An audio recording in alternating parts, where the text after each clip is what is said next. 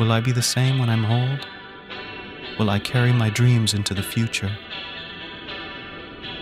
I fear that everything I am will simply disintegrate over time, like a sandcastle washed away by the sea, and be replaced with the same shallow ideas that now disgust me.